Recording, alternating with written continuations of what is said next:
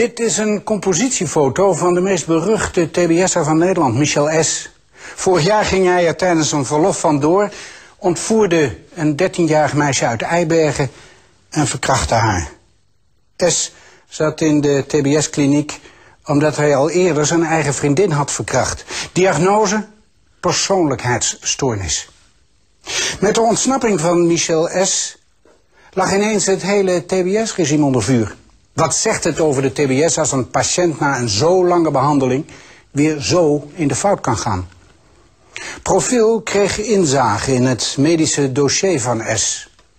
En schetst het portret van een geesteszieke crimineel die door jarenlang verblijven in TBS-klinieken alleen maar zieker werd. Aan de vooravond van het parlementaire onderzoek naar het TBS-regime in profiel het verhaal van Michel S.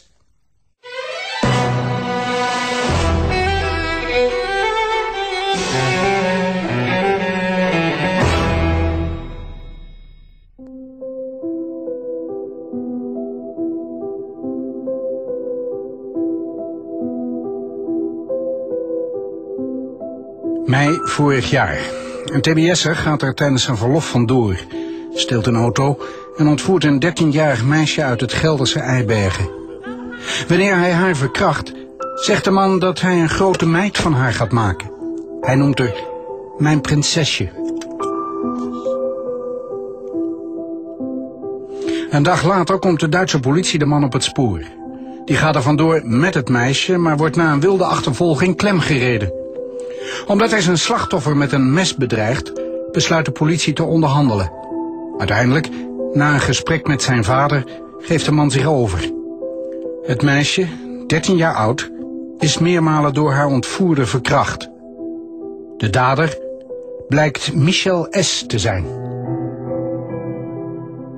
Het is een, eh, een 38-jarige man die uh, op zich normaal functioneert in de gesprekken die je met hem voert.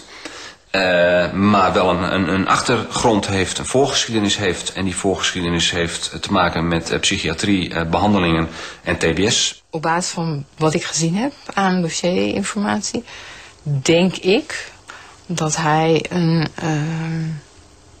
psychopathische persoonlijkheid heeft. Zeer waarschijnlijk. En waarschijnlijk ook ja, toch behoorlijk afwijkende seksuele voorkeur achter elk feit zit een verhaal. Niemand pleegt een feit omdat hij dat zo leuk vindt of omdat het zo nodig moest. Er is altijd een reden, een aanleiding. En of het dan goed of slecht is, er is altijd een verhaal achter een persoon die een strafbaar feit heeft gepleegd. Michel S. wordt al zes jaar intensief behandeld wanneer hij opnieuw in de fout gaat. Hoe kan dat? We zoeken het antwoord in het vertrouwelijke rapport dat het Pieter Baan Centrum schreef over S. na de ontvoering van het meisje van Eibergen.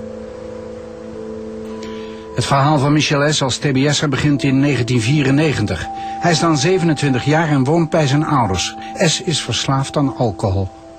Tijdens het uitlaten van zijn hond leert hij een 18-jarige vrouw kennen. De twee raken bevriend, maar als S. met haar naar bed wil, weigert de vrouw. S. verkracht haar. S. wordt gearresteerd en de rechter die het onderzoek leidt... vraagt een psychiater om Michel S. te onderzoeken psychiater onderzoekt in eerste instantie of er sprake is van een psychische stoornis. Dat is heel belangrijk, omdat dat iets zegt over de hele persoon. En vervolgens onderzoekt de psychiater het verband tussen die psychische stoornis en wat er gebeurd is in dit geval, dus de verkrachting. Wat is het belang van dat onderzoek? Uh, belang van onderzoek is punt 1 voor de rechtbank. Wat voor straf moet deze persoon krijgen? Hoe lang? En moet er eventueel dus een ter beschikkingstelling, dus een gedwongen behandeling in een gesloten kliniek worden opgelegd? Heeft Michel S. zijn vriendin verkracht omdat hij psychisch ziek is? Om die vraag te beantwoorden neemt de psychiater S. een test af, waarbij S. zinnen moet afmaken. Mijn ergste is... Dat vele drank gebruiken. Moeder dacht... Die drinkt heel veel. Vrienden? Heb ik niet. Angst? Om nog verder in de put te komen. Na drie gesprekken met S weet de psychiater genoeg. Hij schrijft zijn rapport voor de rechter. Zijn conclusie? Betrokkenen is een in emotionele ontwikkeling sterk achterlopende man. Met een stoornis in aanpassing aan de realiteit. Hij is blijven steken in de puberteit, heeft de aansluiting naar de volwassen wereld gemist. Hij weet zich dan enigszins te handhaven met zijn groot postuur en misbruik van alcohol. Door dit laatste komt hij tot diefstal, destructie en agressief optreden. De psychiater die Michel S. onderzocht, legt een directe relatie tussen de stoornis waar S aan leidt en de verkrachting. We leggen het rapport van de psychiater voor aan Corine de Ruiter. Ze is hoogleraar forensische psychologie.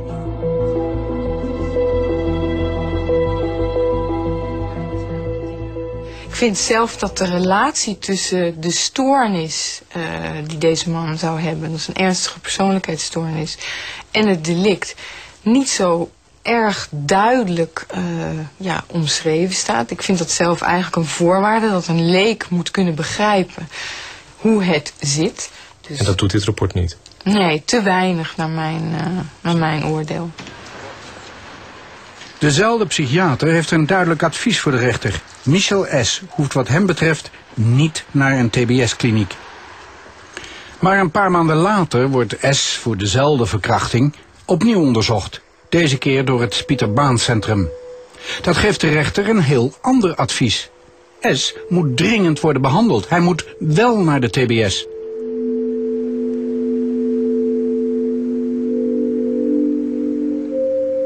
Twee psychiaters kijken naar dezelfde man en de een zegt... die meneer moet wel de tbs in en de ander zegt... nee, dat hoeft niet. Hoe kan dat? Ja, dat kan dus blijkbaar. Uh, ik denk dat het niet zou moeten kunnen. Uh, en dat heeft ja, naar mijn smaak weer heel veel te maken met uh, toch ja, het gebrek aan opleiding in Nederland voor uh, het doen van dit soort rapportages, maar ook gebrek aan opleiding om überhaupt te werken met deze doelgroep, dus ook in de behandeling. Werken met psychisch gestoorde delinquenten. Daar is geen speciale opleiding, nog in de psychologieopleidingen, nog in de psychiatrieopleiding voor. U zegt dit soort onderzoeken worden gedaan door mensen die daar niet altijd voldoende voor zijn opgeleid? Niet, niet voldoende specifiek voor zijn opgeleid, ja. En wat kunnen de gevolgen daarvan zijn? Nou, de gevolgen kunnen zijn dat, uh, ja, dat, het toch, dat er meer fouten worden gemaakt dan nodig is. Nou, twee kanten, zoals ik net zei. Want mensen komen onterecht in de TBS en mensen komen ook onterecht niet erin. Meestal komt zoiets pas jaren later naar boven. Dat achteraf blijkt dat deskundigen een, een, een onjuiste of een, nou ja, een, een diagnose hebben gesteld die niet helemaal conform de werkelijkheid is geweest. En daar komt men na langdurige behandelingen vaak achter van nou, het was toch iets anders dan de deskundigen toen en toen hebben gezegd. Dat komt wel voor je. De rechter kiest uiteindelijk voor het advies van het Pieter Baan Centrum. In 1995 wordt Michel S. veroordeeld tot tbs en twee jaar gevangenisstraf voor de verkrachting van zijn vriendin. Wat denkt u dat er in dit geval gebeurd zou zijn als het Pieter Baan Centrum niet naar hem had gekeken? Nou, dan had hij geen tbs gekregen.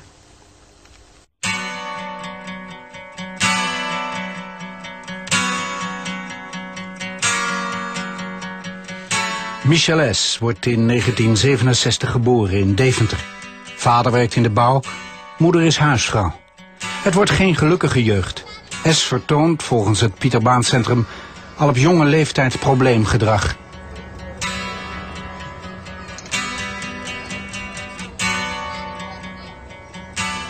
Andere kinderen gingen hem mijden omdat hij vals speelde en zonder duidelijke reden agressief kon worden. Thuis leverden betrokkenen ook problemen op. Moeder voelde zich niet tegen hem opgewassen, terwijl vader, als hij thuis was, met straffe hand regeerde. De kinderjaren van Michel S. Volgens het Pieter Baan Centrum zijn ze de oorzaak van zijn psychische problemen. De persoonlijkheidsstoornis van betrokkenen heeft zich ontwikkeld vanuit zijn vroege jeugd.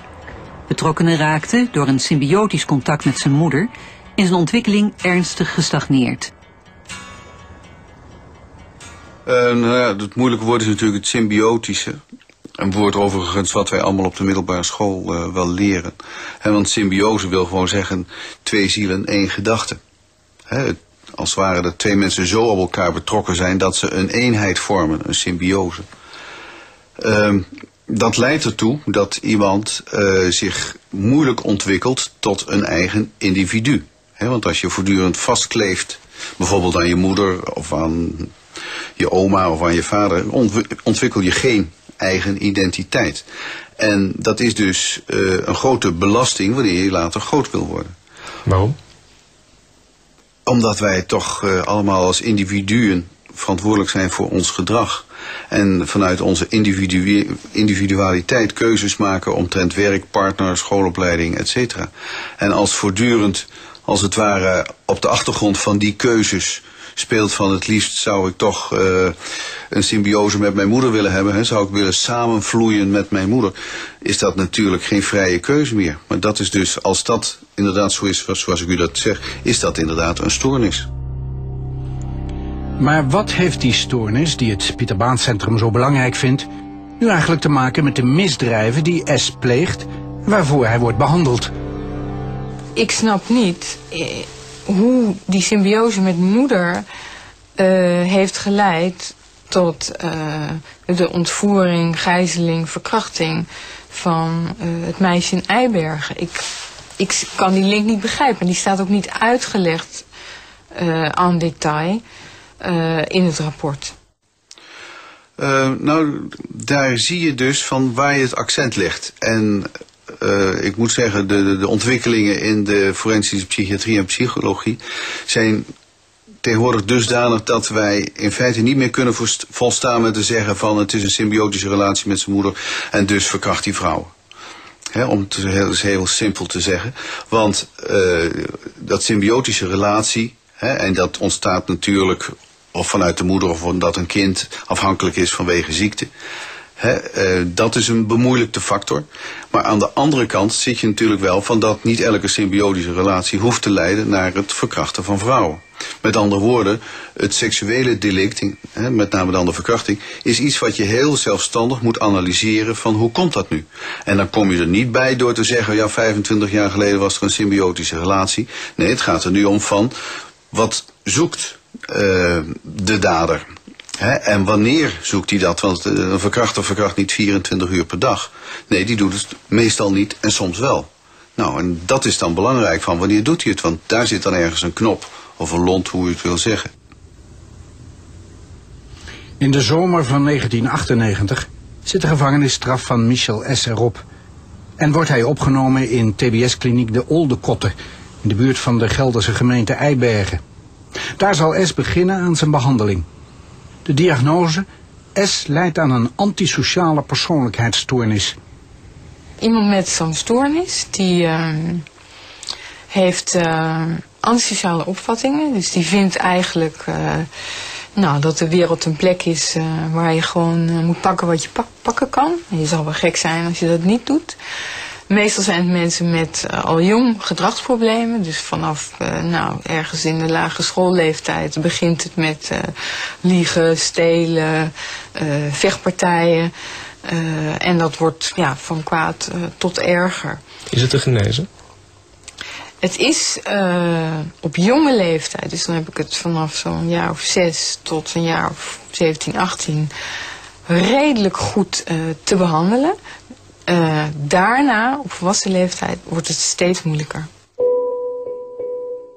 Het verblijf in de Oldekotten wordt geen succes. De problemen beginnen al na drie maanden. Begin september 1998 kreeg de kliniek een telefoontje van een schooldirecteur uit Groningen. Met de mededeling dat betrokkenen daar een vrouwelijke leerkracht in een brief met een hoog pornografisch gehalte bedreigd had. Betrokkenen schreef met een 14-jarige leerlingen van die docenten. Deze leerlingen had een conflict met deze docenten. Mag iemand die in een TBS-kliniek zit uh, uh, brieven schrijven met wie die wil? Uh, in principe heeft iemand op wettelijke basis recht op vrijheid van briefwisseling, vrijheid van bezoek. Maar de directeur van de instelling kan dat tegenhouden of beperken. Maar het uitgangspunt is dat het mag? Het uitgangspunt is dat het mag. Maar als er dus signalen zijn dat het ongezond is of gevaarlijk... Hè, bijvoorbeeld dat andere mensen schriftelijk worden bedreigd... of dat er misdrijven worden voorbereid... Hè, dan wel dat iemand zich helemaal verdiept in zijn, zijn eigen waanwereld of seksuele fantasieën. Dan uh, moet de directeur daar gewoon ook een einde aan maken. De kliniek verbiedt S uiteindelijk dit soort brieven nog te schrijven en controleert zijn post. Zonder resultaat. In augustus 1999 werd in zijn kamer een hoeveelheid brieven, voornamelijk correspondentie met minderjarige meisjes, gevonden. De inhoud was vergaand seksueel overschrijdend. Michel S. is de kliniek te slim afgeweest. Al is hij daarbij wel een handje geholpen. Daar vervolgens bleek dat de ouders als postadres functioneerden, werd hen per 25 augustus 1999 de toegang tot de kliniek ontzegd. Vader en moeder S. hebben volgens het rapport als koerier gefungeerd voor hun zoon. Ze smokkelden zijn brieven de kliniek uit en namen de reacties weer mee naar binnen. Het is wel zo, als je dat als directeur weet, en dat is natuurlijk mij ook een paar keer overkomen, dan moet je meteen ook dat bezoek stopzetten. Dan, dan moeten sancties ook komen. Maar er wordt natuurlijk heel wat gesmokkeld. Niet alleen maar uh, drugs, maar dus ook uh, brieven en mondelinge mededelingen, et cetera. De Oldekotter roept de ouders van S op het matje. Die tonen weinig berouw. Duidelijk werd dat vooral moeder meeleek te gaan in betrokkenes bagatelliserende en ontkennende houding. Of, zoals een lid van het afdelingspersoneel opmerkte, de moeder had zoiets van, onze jongen mist al zoveel, wat kan dit voor kwaads?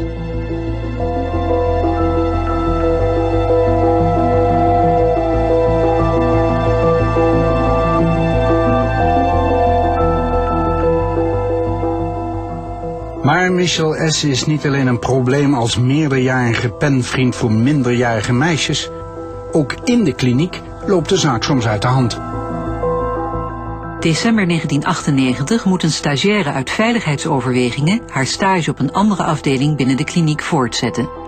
Betrokkenen trachten op claimende wijze een exclusief contact met haar te krijgen en bleek zeer goed op de hoogte van haar privésituatie. In eerste instantie ga je diagnosticeren. Hè, wat is de aard van dat contact? Is dat een erotiserend contact? Worden de schuine moppen verteld? Uh, kleedt iemand zich uitdagend met veel borsthaar of uh, korte broeken?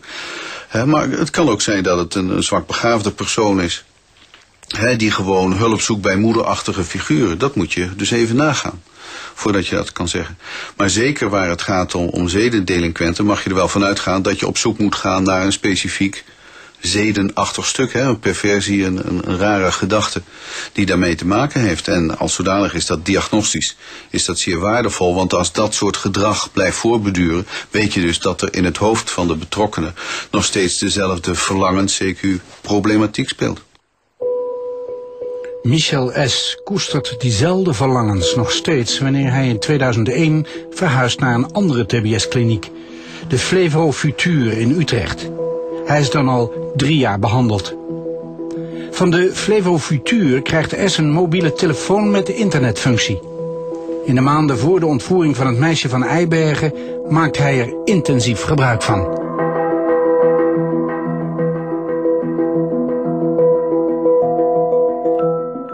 In de maanden voor het ten laste gelegde had hij, naar zijn schatting, met maar liefst 50 tot 100 verschillende vrouwen en een enkele man chatcontacten. En er waren dagen bij dat hij 125 sms-berichten per dag ontving.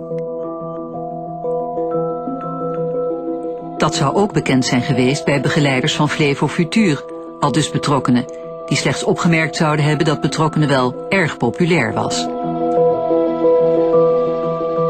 ik zie dat als, als delictgedrag uh, tijdens de behandeling. Ja. Legt u eens uit? Nou, uh, via internet, via sms-berichten zoekt hij contact met, uh, ja, met vrouwen. Soms ook met hele jonge vrouwen, heb ik begrepen. En ja, dat betekent dat hij eigenlijk gedurende de behandeling doorgegaan is met, ja, met, met delictgedrag. Hoe kan het dat mensen in een kliniek zoveel ruimte en vrijheid krijgen om daarmee door te gaan? Ja, dat heb ik ook niet begrepen. Eh, nogmaals, ik moet afgaan op het dossier, maar ik weet dat in, in de TBS-kliniek waar ik, waar ik vroeger gewerkt heb, daar hadden mensen geen toegang tot internet, hadden ze, mochten ze geen mobiele telefoons in bezit hebben, dat was allemaal verboden.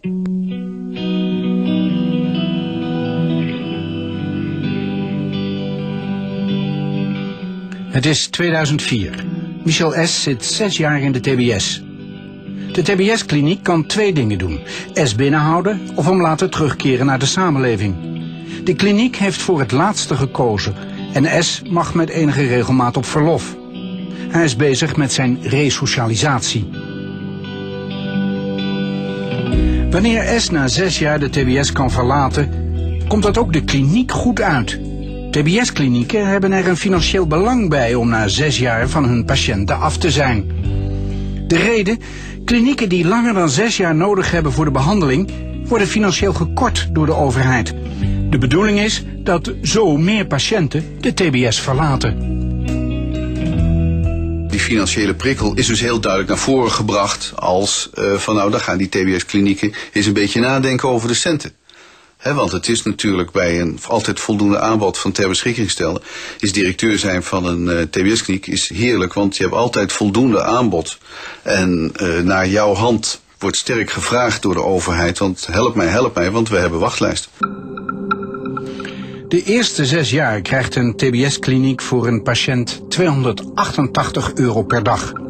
Doet de kliniek er langer over, dan wordt ze gekort. Na zes jaar krijgt ze voor dezelfde patiënt nog maar 196 euro per dag. 35% minder. Het heeft als effect dat men natuurlijk streeft om binnen die zes jaar uh, een goed resultaat te bereiken. Maar ja, het omgekeerde, het kan natuurlijk ook averechts werken. Dat er zoveel financiële druk op de ketel ontstaat voor zo'n kliniek, die natuurlijk ook uh, kiet moet draaien. Uh, dat men dan zegt van nou oké, bij patiënt X of Y, nou laten we toch maar proberen om nu te beginnen met de resocialisatie. Want ja, straks komt die zes jaar termijn eraan en dan hebben we misschien een probleem. Behandelkeuzes die je maakt moeten, moeten inhoudelijk zijn. Hè? Die moeten gaan over wat is veilig en wat is goed voor de patiënt in een TBS-context. Uh, en die moeten niet gemotiveerd raken door een financiële prikkel. Uh, maar dat is wel het idee achter dit beleid. En ja, voor zover dat het idee achter dit beleid is, vind ik dat geen goed idee. Martin Philipsen is als onderzoeker werkzaam in de Pompenkliniek, de grootste TBS-instelling van Nederland. Een kliniek moet patiënten zo veilig mogelijk terugsturen de samenleving in, maar gezien zo'n korting liefst ook zo snel mogelijk. Ja. Zijn dat twee doelen die je tegelijkertijd kunt nastreven? Het is, uh, het is een nobel streven om dat allebei tegelijk waar te maken, maar voor een deel bijt dat elkaar natuurlijk. Um, uh, het, het, bedoel, je loopt ook het risico dat je mensen waarvan je ziet van hier is wel perspectief, maar hij komt ook aan zijn zesjaarstermijn, uh, overhaast gaat resocialiseren misschien. Um, dat, is, ja, dat risico brengt het met zich mee. U heeft zelf in een TBS-kliniek gewerkt. Heeft u dat zelf van nabij meegemaakt? Hoe die financiële druk een rol speelt in de ja, Ja, dat is natuurlijk een, een, dat is een factor. Nou, dat men denkt van en, en spreekt over van nou, dit jaar zouden eigenlijk zoveel patiënten uh, weer uh, toch uh, in richting resocialisatie moeten gaan. Laten we eens kijken bij wie dat ja, zou kunnen. Maar goed, dat is dan, dan een factor die meespeelt naast de risicotaxatie. En dan kan het natuurlijk zijn dat men soms denkt van nou laten we het bij deze maar gaan proberen. Terwijl je als die financiële druk er niet zou zijn, het nog even aan zou kunnen kijken. Maar dat vind ik dus ook het dilemma in de TBS op dit moment in, in maatschappelijk uh, perspectief gezien.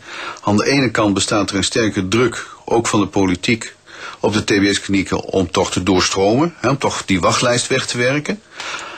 Nou, hoe kun je dat doen met een bepaald aantal bedden? Dat is alleen maar weer om uit te stromen. He? Terwijl de andere beweging van de maatschappij is nou juist weer he, van uh, gevaarlijk, hou ze binnen, wees zeer zorgvuldig. Dus dan zet je opeens weer die uitstroom op slot. Het moet zo veilig mogelijk en het moet zo snel mogelijk. Ja, en dat is natuurlijk, uh, daar zit een zeker evenwicht in. Maar in feite zijn er natuurlijk uh, tegenstrijdigheden.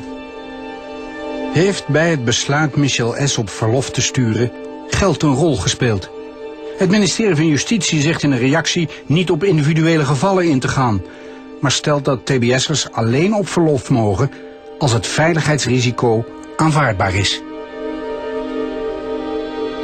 Op 23 mei 2004 ontvoert S het meisje van Eibergen en verkracht haar meermalen. Het is het ernstigste misdrijf dat hij ooit heeft gepleegd. Hoe is dat mogelijk na zes jaar intensieve behandeling in twee verschillende TBS-klinieken? Het rapport van het Pieter Baan Centrum geeft op die vraag een somber antwoord. Door zijn verblijf in TBS-klinieken is betrokkenen meer gepsychopathiseerd. Alle behandelingen ten spijt kan van daadwerkelijke verbetering niet of nauwelijks gesproken worden.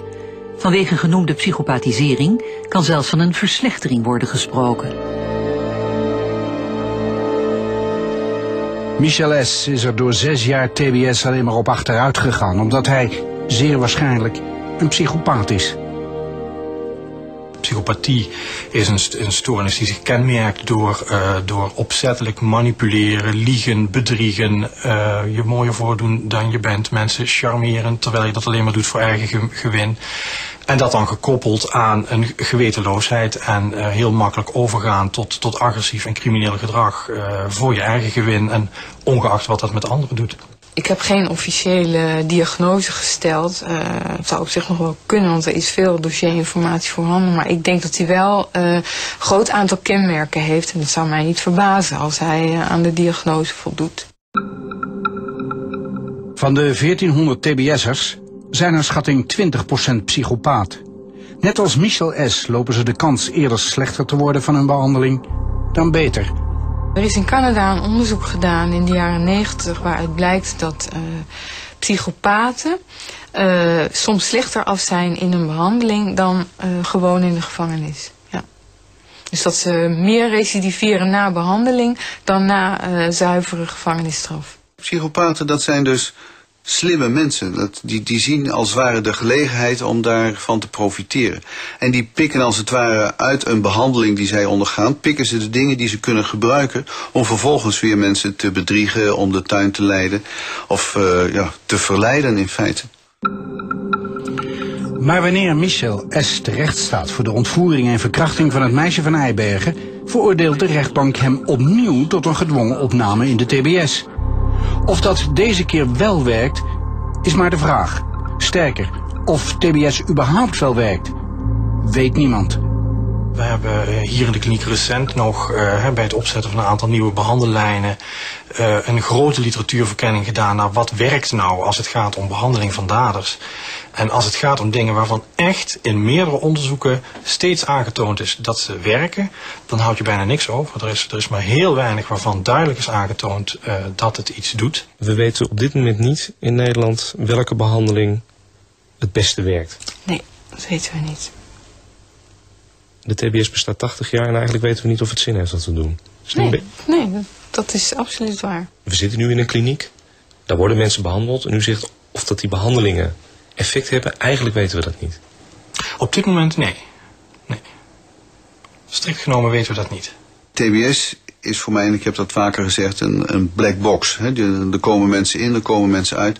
Maar wat er precies in de TBS-klinieken gebeurt, en dus ook wat er met de individuele TBS-gestelden gebeurt, is in feite nog helemaal niet onderzocht. Uh, ik heb me daar ook over verbaasd. Ik verbaas me daar al tien jaar over. Ik werk sinds 95 in deze sector. En toen ik daarin kwam te werken, verbaasde mij, ik mij erover dat er geen effectstudies waren. Er was dus geen onderzoek waar gekeken was van nou, hoe komt iemand binnen in de TBS?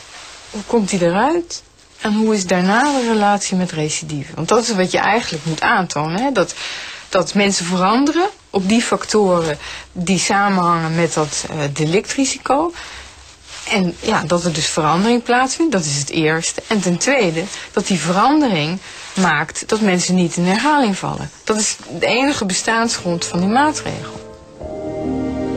Op dit moment zit Michel S. zijn gevangenisstraf uit. Daarna zal hij in een TBS-kliniek worden behandeld. Als je vraagt van, vindt hij zelf dat er iets moet gebeuren? Ja, hij heeft ook nooit gezegd, ik zit hier ten onrechte in de TBS, ik zit ten onrechte in de Flevofutuur in de kliniek. Uh, en ook nu zegt hij niet van, uh, met mij is niks mis, laat mij maar los en het zal allemaal goed komen. Dus hij ziet wel degelijk dat er een behandeling noodzakelijk is. Of die deze keer meer succes zal boeken is de vraag. Het Pieter Baan Centrum, dat zelf de TBS adviseerde, is somber. Mede door de verblijf in twee TBS-klinieken heeft betrokkenen steeds beter geleerd zich staande te houden met zijn problemen en voor de omgeving te doen alsof er niets aan de hand is.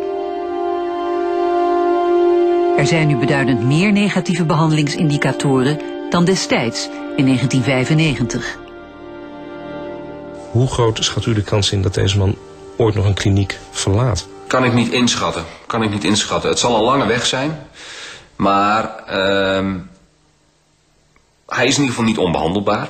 Want anders had het Pieter Baan Centrum dat wel gezegd. En mogelijk had de rechtbank dan ook wel geen nieuwe TBS-maatregel opgelegd als ze hadden gezegd, want het wordt toch niks. Dat hebben ze dus niet gezegd. Dus ik vind het ook dat je de blik op de toekomst gericht moet houden. En een behandeling, TBS-behandeling, is alleen maar succesvol als je het idee hebt van ik kan er wat mee bereiken en ik kom terug in de maatschappij. Wanneer die behandeling niet werkt, wacht Michel S. zeer waarschijnlijk een plekje op de longstay, een aparte vleugel van de TBS-kliniek waar patiënten niet meer worden behandeld, omdat dat toch geen zin heeft. Ze blijven er opgesloten zolang ze gevaarlijk zijn. Longstay. Het is Engels en betekent lang verblijf. Voor Michel S. betekent het misschien wel levenslang.